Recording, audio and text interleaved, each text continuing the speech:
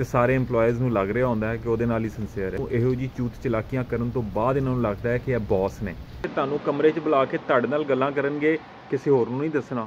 ਤੇ ਅੰਦਰੋਂ ਕੰਪਲੈਕਸ ਦੇ ਭਰੇ ਚਾਰ ਬੰਦਿਆਂ ਕੋ ਖਲੋ ਕੇ ਗੱਲ ਨਹੀਂ ਹੁੰਦੀ ਕਿਉਂਕਿ ਉਹ ਬੌਸ ਨਾਹਿਲ ਹੁੰਦਾ ਉਹਨੂੰ ਆਪ ਸਮਝ ਨਹੀਂ ਆ ਰਹੀ ਹੁੰਦੀ ਦਫ਼ਤਰ ਨੂੰ ਕਿਵੇਂ ਲੈ ਕੇ ਚੱਲਣਾ ਹੈ। ਕੀ ਗੱਲ ਹੋ ਰਹੀ ਹੈ? ਕੀ ਗੱਲ ਕਰ ਰਹੇ ਹੋ? ਅੱਛਾ ਨਹੀਂ ਇੰਜ ਨਹੀਂ ਇੰਜ ਕਰ ਲਓ।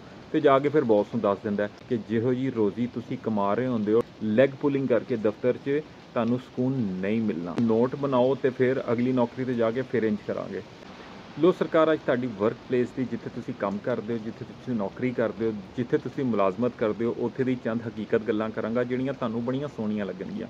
ਤੁਸੀਂ ਇੱਕ ਦਫ਼ਤਰ 'ਚ 2.5 3 ਸਾਲ 4 ਸਾਲ 5 ਸਾਲ 10 ਸਾਲ ਕੱਢ ਰਹੇ ਹੁੰਦੇ ਹੋ, ਸਕੂਨ ਨਾਲ ਜ਼ਿੰਦਗੀ ਗੁਜ਼ਰ ਰਹੀ ਹੁੰਦੀ ਹੋ, ਮਿਹਨਤ ਕਰ ਰਹੇ ਹੁੰਦੇ ਹੋ, ਹਲਾਲ ਰੋਜ਼ੀ ਕਮਾ ਰਹੇ ਹੁੰਦੇ ਹੋ ਤੇ ਜਾਨ ਮਾਰ ਰਹੇ ਹੁੰਦੇ ਤੇ ਅਚਾਨਕ ਇੱਕ ਕਰੈਕਟਰ ਆ ਜਾਂਦਾ ਹੈ, ਸਿਫਾਰਸ਼ੀ।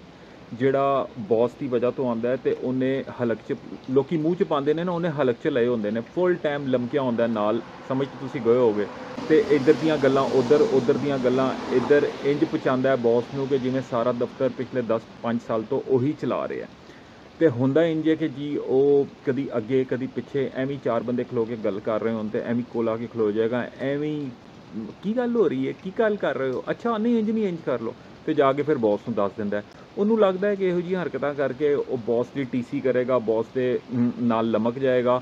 ਤੇ ਫਿਰ ਉਹਦੀ ਤਰੱਕੀ ਹੋਏਗੀ ਤੇ ਹਕੀਕਤਨ ਇੰਜ ਹੀ ਹੁੰਦਾ ਪਾਕਿਸਤਾਨ 'ਚ। ਪਾਕਿਸਤਾਨ 'ਚ ਜਿਹੜੇ ਇਨਕੰਪੀਟੈਂਟ ਬੌਸ ਹੁੰਦੇ ਨੇ ਨਾ ਜਿਹੜੇ ਨਾ ਅਹਿਲ ਬੌਸ ਹੁੰਦੇ ਜਿਨ੍ਹਾਂ ਨੂੰ ਪਤਾ ਹੀ ਕੁਝ ਨਹੀਂ ਹੁੰਦਾ ਕਿ ਕੰਪਨੀ ਨੂੰ ਦਫ਼ਤਰ ਨੂੰ ਚਲਾਉਣਾ ਕਿਵੇਂ ਹੈ। ਉਹ ਇਹੋ ਜਿਹੇ ਲੋਕਾਂ ਦੀ ਗੱਲਾਂ 'ਚ ਆ ਜਾਂਦੇ ਨੇ ਤੇ ਗੱਲਾਂ 'ਚ ਆ ਕੇ ਉਹਨਾਂ ਨੂੰ ਲੱਗਦਾ ਕਿ ਆਹੋ ਇਹੀ ਇੱਕ ਬੰਦਾ ਹੈ ਜਿਹੜੀ ਮੈਨੂੰ ਸਾਰੀਆਂ ਗੱਲਾਂ ਦੱਸਦਾ ਦਫ਼ਤਰ ਦੀਆਂ ਗੱਲਾਂ ਦੱਸਦਾ ਉਹ ਕੀ ਕਰ ਰਿਹਾ ਹੈ, ਇਹ ਕੀ ਕਰ ਰਿਹਾ ਕੌਣ ਕਿੰਨੇ ਕੰਮ ਕਰ ਰਿਹਾ ਕੌਣ ਕਿੰਨੇ ਕੰਮ ਨਹੀਂ ਕਰ ਰਿਹਾ। ਤੇ ਬੌਸ ਅੰਨਾ ਹੋ ਕੇ ਉਹਦੀ ਗੱਲਾਂ ਤੇ ਯਕੀਨ ਕਰਦਾ ਤੇ ਯਕੀਨ ਕਰਨ ਤੋਂ ਬਾਅਦ ਉਹ ਬੰਦਿਆਂ ਨੂੰ ਜਾਂ ਤੇ ਕੱਢ ਦਿੰਦਾ ਹੈ ਤੇ ਕੱਢਣ ਤੋਂ ਬਾਅਦ ਉਹਨੂੰ ਹੁੰਦਾ ਉਹ ਹੋ ਇਹ ਤੇ ਗਲਤ ਹੋ ਗਿਆ। ਲੇਕਿਨ ਨਹੀਂ, ਉਹ ਇਸ, ਉਹ ਆਪਣੇ ਆਪ ਨੂੰ ਇਹ ਰਿਅਲਾਈਜ਼ ਨਹੀਂ ਕਰਾਂਦਾ ਕਿ ਇਹ ਗਲਤ ਹੋ ਗਿਆ। ਉਹ ਬੜਾ ਪ੍ਰਾਊਡ ਫੀਲ ਕਰਦਾ ਹੈ ਐਕਸ਼ਨ ਲੈਣ ਲਈ। ਜਾਂ ਅਗਰ ਉਹਨੂੰ ਲੱਗਦਾ ਹੈ ਕਿ ਉਸ ਬੰਦੇ ਨੂੰ ਉਹਨੇ ਅਤਾਬ ਦਾ ਸ਼ਿਕਾਰ ਕਰਨਾ ਹੈ, ਉਹਦੀ ਸੈਲਰੀ ਨਹੀਂ ਵਧਾਣੀ ਉਹਨੂੰ ਪਰਕਸ ਨਹੀਂ ਦੇਣੇ, ਵਗੈਰਾ ਵਗੈਰਾ, ਇਹ ਸਾਰੇ ਦਫ਼ਤਰਾਂ 'ਚ ਇਹ ਹੁੰਦਾ ਹੈ। ਇਹ ਕੋਈ ਨਵੀਂ ਗੱਲ ਨਹੀਂ ਹੈ। ਮੇਰੀ ਆਪਣੀ ਜ਼ਿੰਦਗੀ ਦੇ 20 22 ਸਾਲ ਦੇ ਕੈਰੀਅਰ 'ਚ ਬੜੀ ਵਾਰੀ ਇਹ ਹੋਇਆ ਹੈ ਕਿ ਬਹੁਤ ਸੇ ਲੋਕੀ ਆਏ ਨੇ ਤੇ ਆ ਕੇ ਉਹਨਾਂ ਨੇ ਮੈਨੂੰ ਕੱਟਣ ਦੀ ਕੋਸ਼ਿਸ਼ ਕੀਤੀ ਤੇ ਬਹੁਤ ਸਿਆਂ ਨੇ ਕਟਿਆ ਵੀ ਹੈ ਤੇ ਬੜੀ ਆਪਣੇ ਵੱਲੋਂ ਖੁਸ਼ਹਾਲ ਜ਼ਿੰਦਗੀ ਗੁਜ਼ਾਰ ਰਹੇ ਨੇ। ਲੇਕਿਨ ਚਿਹਰੇ ਤੇ ਇੱਕ ਟੈਨਸ਼ਨ ਹੈ ਚਿਹਰੇ ਤੇ ਇੱਕ ਉਦਾਸੀ ਏ। ਘਰਦਿਆਂ ਤੋਂ ਦੂਰ ਬੈਠੇ ਹੋਏ ਨੇ, ਘਰ ਜਾਂਦੇ ਨੇ, ਬੱਚਿਆਂ ਦਾ ਚਿੜਚਿੜਾਪਨ ਪੈਦਾ ਹੋਇਆ ਹੈ, ਬੁੱਢੀ ਨਾਲ ਉਹਨਾਂ ਦੇ ਨਹੀਂ ਬਣਦੀ ਮਾਂ ਪਿਓ ਨੂੰ ਪੈਸੇ ਦੇ ਕੇ ਉਹਨਾਂ ਦੇ ਅਖਰਾਜਾਤ ਪੂਰੇ ਕਰਕੇ ਉਹਨਾਂ ਤੇ ਅਹਿਸਾਨ ਕਰਦੇ ਨੇ। ਲੇਕਿਨ ਜ਼ਿਹਨੀ ਸਕੂਨ ਨਹੀਂ ਹੈ, ਹਰ ਵੇਲੇ ਰੋਂਦੇ ਰਹਿੰਦੇ ਨੇ ਕਿ ਮਰ ਗਏ, ਲੁੱਟ ਗਏ, ਬਰਬਾਦ ਹੋ ਗਏ, ਕਿਉਂਕਿ ਤੁਹਾਡੀ ਕਰਤੂਤਾਂ, ਤੁਹਾਡੀ ਹਰਕਤਾਂ ਹੀ ਇਹੋ ਜਿਹੀਆਂ ਹੁੰਦੀਆਂ ਨੇ। ਕਿ ਜਿਹੋ ਜੀ ਰੋਜ਼ੀ ਤੁਸੀਂ ਕਮਾ ਰਹੇ ਹੁੰਦੇ ਹੋ, ਟੀਸੀ ਕਰਕੇ ਲੋਕਾਂ ਦੀ ਲੱਤਾਂ ਖਿੱਚ ਕੇ ਲੈਗ ਪੁਲਿੰਗ ਕਰਕੇ ਦਫ਼ਤਰ 'ਚ, ਤੁਹਾਨੂੰ ਸਕੂਨ ਨਹੀਂ ਮਿਲਣਾ। ਤੁਹਾਨੂੰ ਸਕੂਨ ਕਦੀ ਮਿਲ ਹੀ ਨਹੀਂ ਸਕਦਾ। ਤੁਸੀਂ ਜਿੰਨਾ ਮਰਜ਼ੀ ਆਪਣੇ ਆਪ ਨੂੰ ਕਹੋ ਕਿ ਅਸੀਂ ਬੜੀ ਖੁਸ਼ਹਾਲ ਜ਼ਿੰਦਗੀ ਗੁਜ਼ਾਰ ਰਹੇ ਹਾਂ, ਮੈਕਡੋਨਲਡ ਦੇ 버ਗਰ ਖਾ ਰਹੇ ਹਾਂ, ਯਾਸ਼ੀ ਕਰ ਰਹੇ ਹਾਂ, ਬੱਚਿਆਂ ਨੂੰ ਯਾਸ਼ੀ ਕਰਾ ਰਹੇ ਹਾਂ। ਨਹੀਂ ਕਿਤੇ ਨਾ ਕਿਤੇ ਘੁੰਮ ਫਿਰ ਕੇ ਤੁਹਾਡੇ ਅੱਗੇ ਜ਼ਰੂਰ ਆਂਦੀ ਹੈ ਕਿਉਂਕਿ ਉਹ ਇੱਕ ਮਿਸਾਲ ਹੈ ਨਾ ਕਿ ਜਦੋਂ ਤੁਸੀਂ ਕਿਸੇ ਨਾਲ ਬੁਰਾ ਕਰੋਗੇ ਤੇ ਘੁੰਮ ਫਿਰ ਕੇ ਡਾਇਰੈਕਟਲੀ ਔਰ ਇਨਡਾਇਰੈਕਟਲੀ ਤੁਹਾਡੇ ਸਾਹਮਣੇ ਆਏਗਾ। ਲੇਕਿਨ ਇਨ ਲੋਕਾਂ ਨੂੰ ਰਿਅਲਾਈਜ਼ ਨਹੀਂ ਹੁੰਦਾ। ਇਹ ਆਂਦੇ ਹੀ ਇਸ ਮਕ- ਮਕਸਦ ਲਈ ਨੇ। ਪੁਰਾਣੇ ਦਫ਼ਤਰਾਂ 'ਚ ਇਹਨਾਂ ਨੇ ਕਰਪਸ਼ਨ ਕੀਤੀ ਹੁੰਦੀ ਹੈ ਦੋ ਨੰਬਰ ਕੰਮ ਪਾਏ ਹੁੰਦੇ ਨੇ। ਉੱਥੇ ਇਹਨਾਂ ਦੇ ਆਡਿਟ ਖੁੱਲੇ ਹੁੰਦੇ ਨੇ। ਉੱਥੇ ਇਹਨਾਂ ਨੂੰ ਕੁੱਤਿਆਂ ਕੁੱਤੀ ਜ਼ਲਾਲਤ ਹੋਈ ਹੁੰਦੀ ਹੈ ਤੇ ਇਹ ਚਾਹੁੰਦੇ ਨੇ, ਯਾਰ ਬਸ ਹੁਣ ਨੌਕਰੀ ਬਦਲ ਲਈ ਹੈ ਇੱਥੇ 5-7 ਸਾਲ ਹੋ ਗਏ ਨੇ।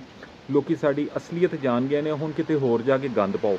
ਤੇ ਇਹ ਬਿਲਕੁਲ ਕਰਦੇ ਨੇ, ਇਹ ਕਿਤੇ ਹੋਰ ਜਾਂਦੇ ਨੇ, ਗੰਦ ਪਾਉਂਦੇ ਨੇ ਤੇ ਅੱਲਾ ਮਾਫ ਕਰੇ, ਕਹਿਣਾ ਵੀ ਨਹੀਂ ਚਾਹੀਦਾ, ਇਹਨਾਂ ਦੀ ਜ਼ਲਾਲਤ ਵੀ ਬੜੀ ਹੁੰਦੀ ਹੈ ਦਫ਼ਤਰ 'ਚ, ਲੇਕਿਨ ਇਹਨਾਂ ਕੋਲ ਹੁਨਰ ਇਹੋ ਜਿਹੇ ਹੁੰਦੇ ਨੇ ਟੈਕਟਿਕਸ ਇਹੋ ਜਿਹੇ ਹੁੰਦੇ ਨੇ ਕਿ ਇਹ ਤੁਹਾਡੇ ਬੌਸ ਦੇ ਮੂੰਹ 'ਚੋਂ ਹਲਕ 'ਚ ਲੈ ਕੇ ਬਸ ਨਾਲ ਲਮਕ ਜਾਂਦੇ ਨੇ, ਕਿਉਂਕਿ ਇਹਨਾਂ ਨੂੰ ਪਤਾ ਹੁੰਦਾ ਕਿ ਅਸੀਂ 5-7 ਸਾਲ ਇਵੇਂ ਕਿਵੇਂ ਕੱਢਨੇ ਨੇ ਤੇ 5-7 ਸਾਲ ਸਾਡੇ ਸਿਕਿਉਰ ਨੇ, ਆਓ ਲਪੇਟੋ ਨੋਟ ਬਣਾਓ ਤੇ ਫਿਰ ਅਗਲੀ ਨੌਕਰੀ ਤੇ ਜਾ ਕੇ ਫਿਰ ਇੰਜ ਕਰਾਂਗੇ।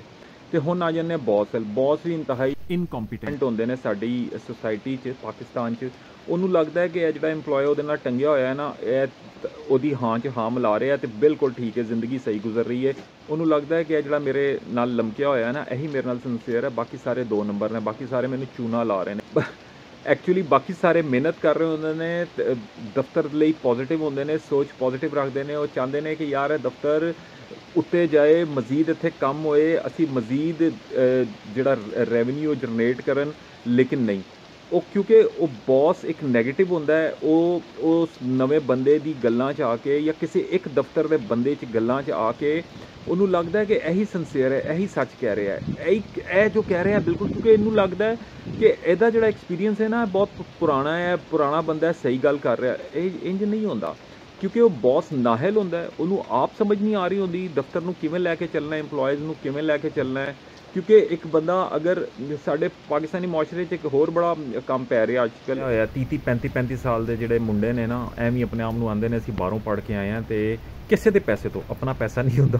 ਕਿਸੇ ਦੇ ਪੈਸੇ ਤੋਂ ਕੰਪਨੀ ਖੋਲਦੇ ਨੇ, ਬੇਤਾਸ਼ਾ ਇਨਵੈਸਟਮੈਂਟ ਕਰਾਉਂਦੇ ਨੇ ਤੇ ਬਰਬਾਦ ਕਰਾ ਦਿੰਦੇ ਨੇ ਤੇ ਆਪਣੇ ਆਪ ਨੂੰ ਸਮਝਦੇ ਨੇ ਕਿ ਬੜੇ ਕੋ ਤੁਰਮ ਖਾਨ ਨੇ ਤੇ ਮਤਲਬ ਅਖੀਰ ਕਰ ਦੇਣਗੇ ਤੇ ਪਤਾ ਚੱਲਦਾ 4 5 6 ਮਹੀਨੇ ਬਾਅਦ ਕਿ ਬੇੜਾ ਹੀ ਗਰਕ ਹੋ ਗਿਆ ਜਿਹੜਾ 1.5 ਅਰਬ ਕਿਸੇ ਦਾ ਲਵਾਇਆ ਸੀ, ਉਹ ਵੀ ਗਵਾਤਾ ਹੈ ਰੈਪੂਟੇਸ਼ਨ ਵੀ ਗਵਾਤੀ ਹੈ ਤੇ ਹਰਕਤਾਂ ਆਪਣੀ ਇਹੋ ਜੀਆਂ ਤੇ ਉਹੀ ਮੈਂ ਜਿਹੜੀਆਂ ਗੱਲਾਂ ਕਰ ਰਿਹਾ EMPLOYE ਨਾਲ ਇਹੋ ਜਿਹੇ ਹੁੰਦੇ ਨੇ ਕਿ ਉਹਨਾਂ ਨੂੰ ਲੱਗਦਾ ਹੈ ਕਿ ਬੜਾ ਕੋ ਤੀਰ ਚਲਾ ਰਹੇ ਨੇ ਆਪਣੇ ਆਪ ਨੂੰ ਸਸਟੇਨ ਕਰ ਰਹੇ ਨੇ ਤੇ ਲੋਕਾਂ ਨੂੰ ਸੋ ਕਾਲਡ ਇੰਜ ਵਿਖਾਉਂਦੇ ਨੇ ਕਿ ਅਸੀਂ ਤੇ ਸਾਨੂੰ ਤੇ ਬੜੇ ਸਟਾਈਲ ਆਉਂਦੇ ਨੇ ਸਿਗਰਟ ਪੀਣ ਦੇ ਤੇ ਲੋਕਾਂ ਨਾਲ ਬਹਿਣ ਦੇ ਤੇ ਗੱਲਾਂ ਕਰਨ ਦੇ ਤੇ ਚਾਰ ਬੰਦਿਆਂ 'ਚ ਬਹਿ ਕੇ ਗੱਲ ਕਰਨ ਦੇ ਤੇ ਅੰਦਰੋਂ ਕੰਪਲੈਕਸ ਦੇ ਭਰੇ ਚਾਰ ਬੰਦਿਆਂ ਕੋ ਖਲੋ ਕੇ ਗੱਲ ਨਹੀਂ ਹੁੰਦੀ ਤੇ ਜਦੋਂ ਇਹਨਾਂ ਨੂੰ ਲੱਗਦਾ ਹੈ ਕਿ ਯਾਰ ਇਹ ਬੰਦਾ ਜਿਹੜਾ ਸਿੰਸੀਅਰ ਬੰਦਾ ਹੈ ਤੇ ਸਿੰਸੀਅਰ مشورہ ਦੇ ਰਿਹਾ ਹੈ ਤੇ ਉਹਨੂੰ ਕਹਿੰਦੇ ਨੇ, ਆ, ਮੈਨੂੰ ਪਤਾ ਹੈ, ਠੀਕ ਹੈ ਠੀਕ ਹੈ ਵੇਖਨੇ ਆ ਕੀ ਕਰਨਾ, ਕੀ ਨਹੀਂ ਕਰਨਾ। ਤੇ ਅੰਦਰੋਂ ਸੋਚ ਰਹੇ ਹੁੰਦੇ ਨੇ, ਯਾਰ, ਇਹਨੇ ਗੱਲ ਤੇ ਬੜੀ ਚੰਗੀ ਕੀਤੀ ਹੈ ਲੇਕਿਨ ਉੱਤੋਂ ਨਹੀਂ ਮੰਨਣੀ। ਆ, ਬਾਅਦ ਚ ਭਾਵੇਂ ਮੰਨ ਲੈਣੀ ਹੈ ਲੇਕਿਨ ਉਹਨੂੰ ਕ੍ਰੈਡਿਟ ਵੀ ਨਹੀਂ ਦੇਣਾ।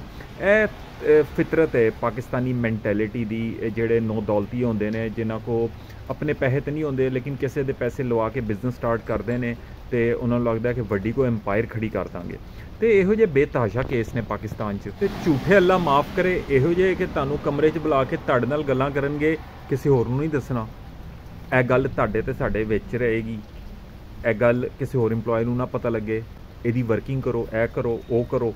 ਤੇ ਸਾਰਿਆਂ ਨੂੰ ਇੰਜ ਕਹਿੰਦੇ ਨੇ। ਤੇ ਸਾਰੇ EMPLOYEES ਨੂੰ ਲੱਗ ਰਿਹਾ ਹੁੰਦਾ ਹੈ ਕਿ ਉਹਦੇ ਨਾਲ ਹੀ ਸਿੰਸੀਅਰ ਹੈ। ਕਿਉਂਕਿ ਇਹਨਾਂ ਨੂੰ ਇਹੋ ਜੀ ਚੂਤ ਚਲਾਕੀਆਂ ਕਰਨ ਤੋਂ ਬਾਅਦ ਇਹਨਾਂ ਨੂੰ ਲੱਗਦਾ ਹੈ ਕਿ ਇਹ ਬੌਸ ਨੇ। ਐਕਚੁਅਲੀ ਇਹਨਾਂ ਕੋਲ ਟਕੇ ਦੀ ਅਕਲ ਨਹੀਂ ਹੁੰਦੀ। ਤੇ ਪੈਸਾ ਮੈਂ ਤੁਹਾਨੂੰ ਦੱਸ ਹੀ ਚੁੱਕਿਆ ਕਿਸੇ ਦਾ ਲਵਾ ਕੇ ਬਰਬਾਦੀ ਦੀ ਬਰਬਾਦੀ ਹੈ। ਤੇ ਫਿਰ ਵੈਂਚਰ ਬਰਬਾਦ ਹੋ ਜਾਂਦਾ ਹੈ। ਤੇ ਬਾਅਦ ਚ ਫਿਰ ਕਹਿੰਦੇ ਨੇ ਕੌਨਫੀਡੈਂਸ ਨਾਲ। ਕੋਈ ਨਹੀਂ, ਇੱਕ ਟਰਾਈ ਕੀਤੀ ਸੀ, ਅਗਰ ਹੋ ਗਿਆ ਤੇ ਕੀ ਹੋਇਆ? ਕਿਉਂਕਿ ਭਾਵੇਂ ਤੁਹਾਡੇ ਆਪਣੇ ਨਹੀਂ ਲੱਗੇ ਨਾ, ਤੁਸੀਂ ਕਿਸੇ ਦੇ ਲਵਾਤ ਕੇ ਉਹਨੂੰ ਲਵਾਤਾ ਹੈ। ਤੇ ਜਿਹੜਾ ਉਹ ਬੰਦਾ ਜਿਹਦੀ ਹਲੇ ਅਸੀਂ ਸਾਰੀ ਗੱਲ ਕੀਤੀ ਹੈ, ਜਿਹਦੀ ਵਜ੍ਹਾ ਤੋਂ ਕੰਮ ਪੈ ਰਿਹਾ ਹੁੰਦਾ ਉਹ ਖੁਸ਼ਹਾਲ ਹੁੰਦਾ ਸਕੂਨ ਦੀ ਜ਼ਿੰਦਗੀ ਗੁਜ਼ਾਰ ਰਿਹਾ ਹੁੰਦਾ ਉਹਨੂੰ ਲੱਗਦਾ ਕਿ ਯਾਰ, ਇਹ ਬੇਵਕੂਫ ਆਦਮੀ ਹੈ, ਛੋਟਾ ਹੈ।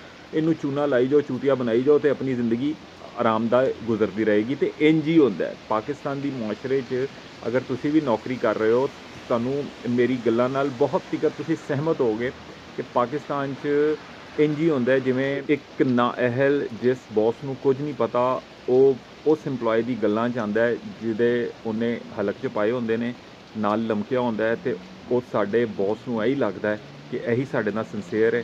ਹੋਰ ਕੋਈ ਦਫ਼ਤਰ 'ਚ ਸਾਡੇ ਨਾਲ ਸਿੰਸੀਅਰ ਨਹੀਂ। ਅਗਰ ਕੋਈ ਹੋਰ ਉਹਦੇ ਨਾਲ ਗੱਲ ਕਰਨਾ ਚਾਹੇ ਤੇ ਉਹਨੂੰ ਲੱਗਦਾ ਹੈ ਕਿ ਇਹ ਬਕਵਾਸ ਕਰ ਰਿਹਾ ਐਵੇਂ ਫਜ਼ੂਲ ਬੋਲ ਰਿਹਾ, ਇਹਨੂੰ ਪਤਾ ਹੀ ਕੁਝ ਨਹੀਂ ਹੈ। ਤੇ ਉਹ ਬੰਦਾ ਜਿਹੜਾ ਲਮਕਿਆ ਹੁੰਦਾ ਨਾਲ, ਉਹਨੂੰ ਲੱਗਦਾ ਹੈ ਕਿ ਆਹੋ, ਇਹੀ ਬੰਦਾ ਸਹੀ ਗੱਲਾਂ ਕਰ ਰਿਹਾ ਇਸ ਬੰਦੇ ਨੂੰ ਸਭ ਪਤਾ ਹੈ, ਬਾਕੀ ਸਭ ਫਜ਼ੂਲ ਨੇ।